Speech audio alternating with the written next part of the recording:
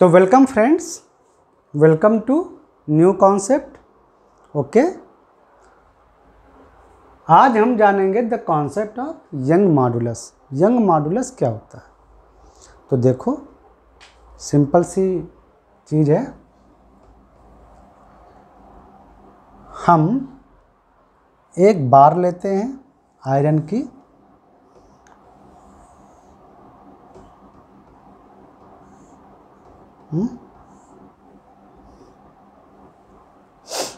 Okay. इसकी length ले लो L और उसका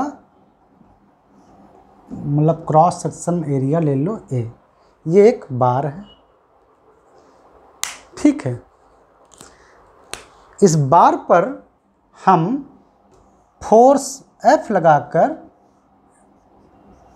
चाहे ऐसे दोनों ओर से फोर्स एफ़ एफ़ लगाओ चाहे क्या करो कि बात वही है चाहे एक तरफ़ इसको ऐसे फिक्स कर दो हम्म, यहाँ पे और अब हम नीचे ऐसे फोर्स लगा के इसको खींच रहे हैं।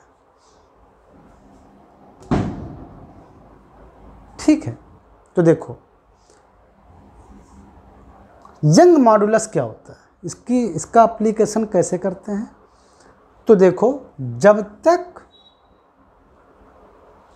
फोर्स लगाने पर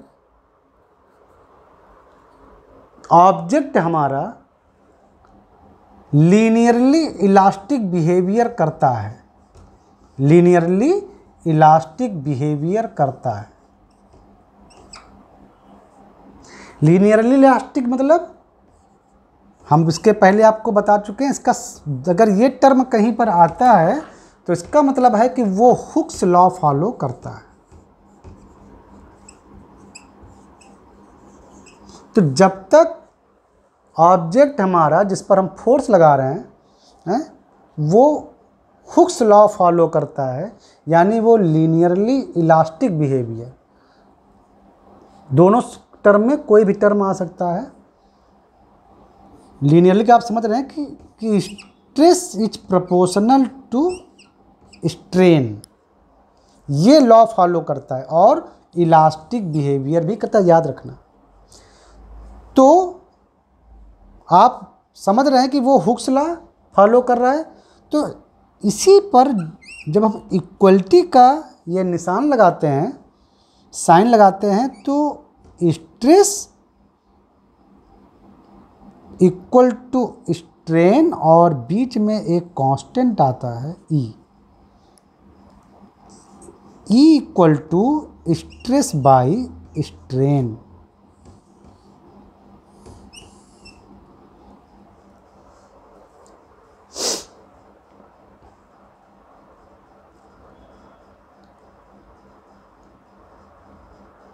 Young modulus is stress by strain.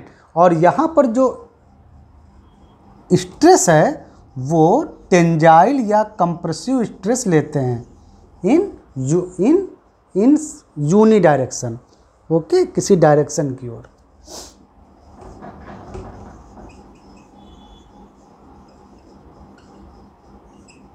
जैसे जैसे यहाँ पर इस कंडीशन में अगर आप देखें तो स्ट्रेस वही है, फोर्स डिवाइडेड बाय एरिया। और स्ट्रेन क्या है? अगर ये रॉड या ये बार मान लो, जैसे आपने एग्जांपल लिया फोर्स लगाने पर थोड़ा बढ़ गई, ऐसे डेल्टा एल लेंथ तो स्ट्रेन जो होगी वो भी उसको बोलेंगे लॉन्गिट्यूडिनल स्ट्रेन और लॉन्गिट्यूडिनल स्ट्रेन होती है delta L divided by L ये आप जानते हैं, ये हम आपको बता चुके हैं। तो यंग मॉडुलस होता है स्ट्रेस डिवाइडेड बाय स्ट्रेन।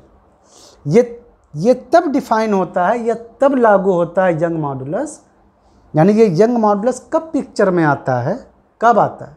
जब जो हमारा ऑब्जेक्ट है, वो फोर्स लगाने पर जब तक हुक्स लॉ फॉलो करे। जब तक हुक्स लॉ फॉलो करे। हुक्स लॉ फॉलो करे मतलब मतलब जब तक वो इलास्टिक बिहेवियर दे और लीनियरली इलास्टिक बिहेवियर दे, लीनियरली लीनियरली मतलब जब तक उसमें लगने वाला स्ट्रेस प्रपोर्शनल टू स्ट्रेन रहे। जब तक ये संबंध रहे और ये चीज़ रहे, तभी तक तभी तक ये यंग मॉडुलस पिक्चर में आता है। Young modulus is stress divided by strain समझ में आया?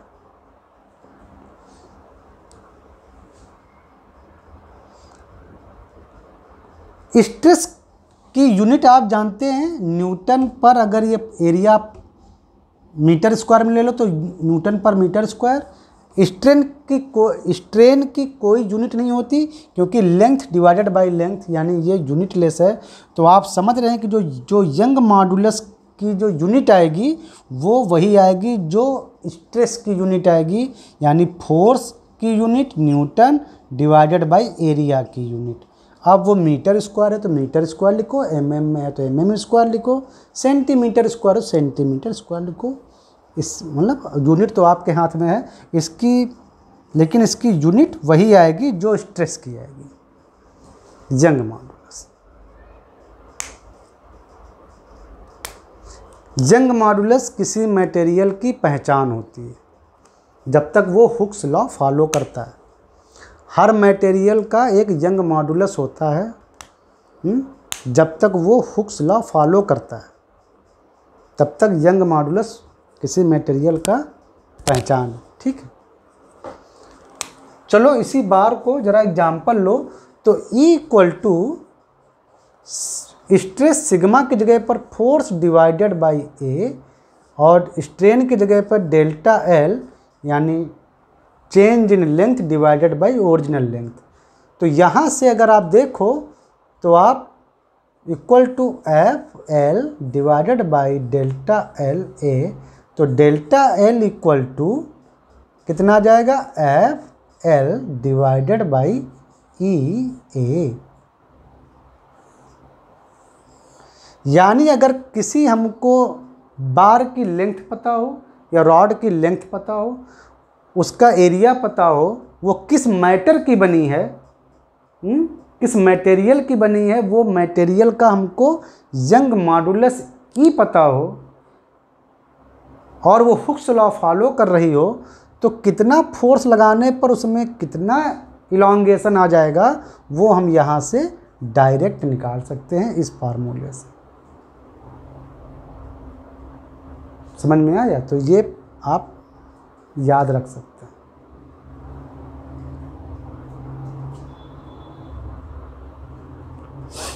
तो यंग मॉडुलस क्या होता है, वो भी आपको समझ में आ गया और उसकी मदद से किसी बार पर, किसी सिंगल यूनी डायरेक्शन में फोर्स लगाने पर कितना इलांगेशन होगा, वो आप ऐसे निकाल लेंगे।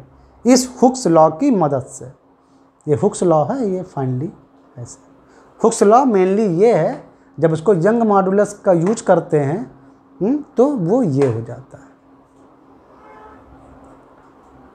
तो आई थिंक आपको यंग मॉडुलस क्या होता है? हाँ? किसी मटेरियल का वो कब यूज़ किया जाता है? हुक्स लॉ हुक्स लॉ को यंग मॉडुलस के थ्रू कैसे रिप्रेजेंट करते हैं? और इसकी मदद से किसी बार पर फोर्स लगाकर उसकी लेंथ में कितना चेंज आएगा, वो हम यहाँ पर इस फार्मूले से जान सकते हैं। तो आई थिंक आपका यंग मॉडुलस क्लियर हुआ, ठीक है?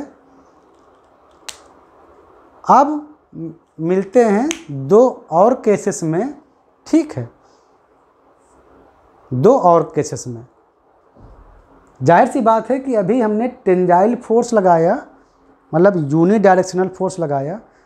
ऐसा केस अभी हमने दो और केस सीखे थे, एक सीयर फोर्स लगाना, जिसमें सीयर स्ट्रेस डेवलप होती है, और एक केस था जिसमें किसी बॉडी को किसी एक प्रेशराइज्ड इन्वायरमेंट में डाल देना, जिससे उसके वॉल्यूमेट्रिक उसमें चेंज आता है है ना? जहाँ पर वॉल्यूमेट्रिक स्ट्रेन पैदा होता है।